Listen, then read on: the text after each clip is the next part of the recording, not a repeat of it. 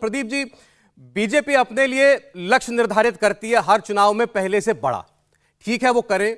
कई राज्यों में उनको ऐसी अभूतपूर्व सफलताएँ मिली हैं, जैसे उत्तर प्रदेश हुआ, गुजरात हुआ, उत्तराखंड में सरकार रिपीट करना हुआ, जिससे लोगों को ये लगता है कि वाकई में ये जो काम असंभव समझे जाते थे अब तक, वो ये पार्टी कर सकती है। इसके पास वो तंत्र है, इनके पास वो नेतृत्व है।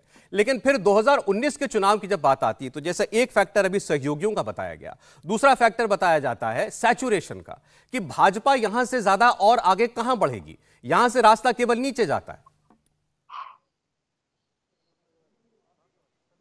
नहीं, देखिए, ये तर्क के आधार पर देखिए तो ये सब बातें सही है। बीजेपी के साथ ही बिछड़ गए अलायंस कम से कम तीन बड़े राज्यों में तो अभी हाल ही में जो है पंजाब, बिहार और महाराष्ट्र में तो उनके उनके सहयोगी चले गए। इसके अलावा एक, मैंने एक दिन गिनती की थी 177 सीटें लोकसभा की ऐसी है, जहाँ बीजेपी ने उनमें से 170 सीटें जीती। तो उसके आधार पर कहा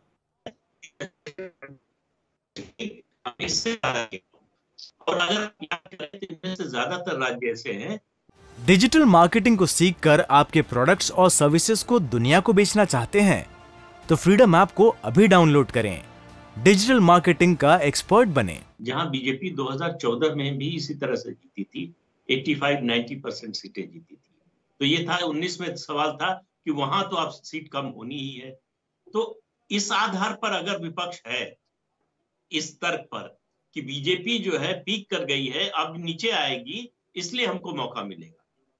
तो मुझे लगता है कि फिर मुश्किल होगा। आप अगर इस ये नैरेटिव बनाए कि हमको जीतना है। जी। बीजेपी को हराने से बड़ा लक्ष्य हमको जीतना है। अगर बीजेपी जो जीती थी उसको फिर से हमको हासिल करना है जहाँ हमारा जनाधार ज़्यादा है जहाँ हमारा संगठन अच्छा है जहाँ हमारे पास नैरेटिव है।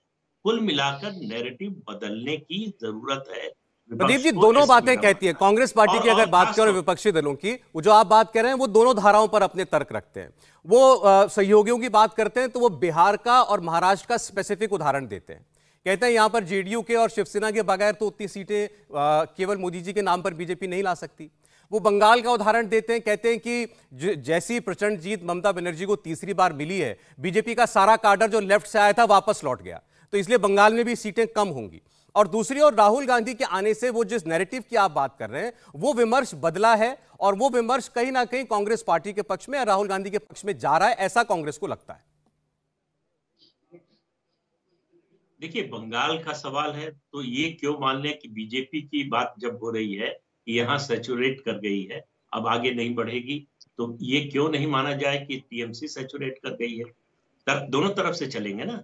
मैं मैं नहीं जानता कि डिजिटल मार्केटिंग को सीखकर आपके प्रोडक्ट्स और सर्विसेज़ को दुनिया को बेचना चाहते हैं तो फ्रीडम ऐप को अभी डाउनलोड करें। डिजिटल मार्केटिंग का एक्सपर्ट बने। कौन सेचुरेट कर गया है कौन घटेगा कौन बढ़ जाएगा वो तो मतदाता तय करेगा। लेकिन लेकिन तर्क के आधार पर अगर आप बात करें तो आप याद कीजिए 2014 में तो बिहार में जेडीयू और आरजेडी में से कोई साथ था नहीं बीजेपी के। उसको अकेले तेईस सीटें मिली थी। और गठबंधन को इकतीस सीटें मिली थी। तो इस इसलिए जो है और अभी 2022 में जो सात राज्यों के चुनाव हुए उनमें से पाँच बीजेपी जीती है। सवाल ये नहीं कि कौन जीता कौन हारा चुनाव में हार जीत होती रहती है। कोई पार्टी आज जीतती है कल हारेगी। जो। कल हारी थी वो आज जीतेगी। सवाल ये है कि विश्वसनीयता किसकी अभी आलोक जी ने जो मुद्दे गिनाए उनके सब मुद्दे सही है। मैं उनमें से किसी मुद्दे से असहमत नहीं। लेकिन सवाल ये है कि उन मुद्दों पर लोग कांग्रेस की बात सुनने और उससे ज़्यादा मानने को तैयार हैं क्या? अगर तैयार हैं और सुनने मानने दोनों के लिए तो परिवर्तन होगा। अगर नहीं है, जो पिछले आठ साल से ज़्यादातर जगहों पर दिखाई दे रहा है, खासतौर से लोकसभा चुनाव में तो फिर कांग्रेस के लिए मुश्किल।